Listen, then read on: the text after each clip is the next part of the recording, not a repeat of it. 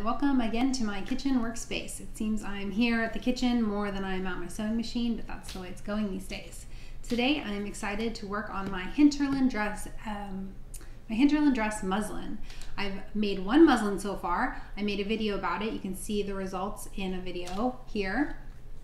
Um, but I cut a straight size 18 and it did not fit well. Did not fit well at all. I decided after that video to uh, make a size 18 with a full bust adjustment. Maybe the full bust adjustment will help the whole situation. Um, so I was working on it a little bit on my own, just looking at some tutorials on the internet and came up with this. This is a disaster and I realized I need more help. So I actually um, have a Craftsy uh, account um, and I looked for a real full bust adjustment class. So um, I watched that and I retraced the pattern because that is just not workable anymore.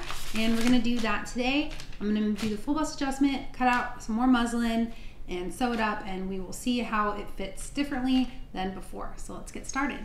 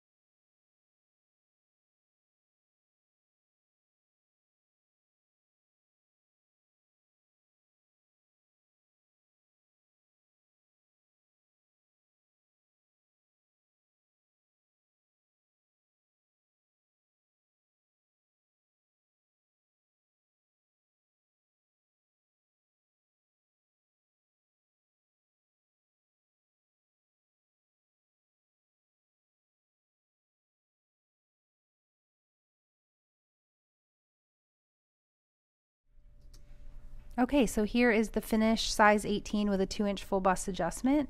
You can see there's a lot more space through the bust. I'm not sure what the issue with the shoulders neckline is. I think it's because there's no facing and I didn't cut off the seam allowance either.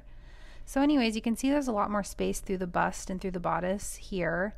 Um, the only problem is it's really weirdly pointy. I don't know if that's the way I sewed it, the way I did the adjustment, maybe I made a mistake, or the way it just looks on my body, but it's obviously not great. It's not good. So obviously this is not the the the final muslin. I don't know what to do from here exactly. You can see the comparison here of the two. So I'm not sure what to do, where to go from here. I'm thinking maybe I'll just size up a whole size and see what that is. It's getting a little frustrating at this point. I think after a second or third muslin, it starts to get a little tedious. But um, I guess, you know, I'm not an expert. I'm not great at fitting. And I think this is probably just the process you have to go through to actually figure out what the heck you're doing. So hopefully you're here to join me on this journey and we will do it together. All right. Thanks for watching. I'll see you guys next time. Bye.